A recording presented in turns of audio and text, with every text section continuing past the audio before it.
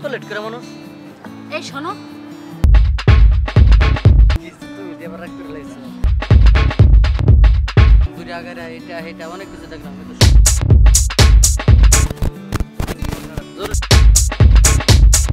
টাকা তো আমার কাছে নাই আমি তো মনে হয় টাকা পয়সা মনে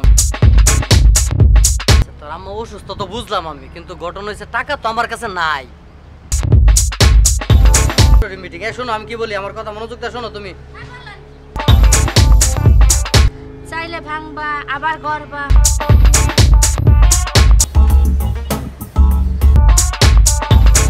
একেবারে একে ফুটফুট আলাপ। ছবি দেখার পর থেকে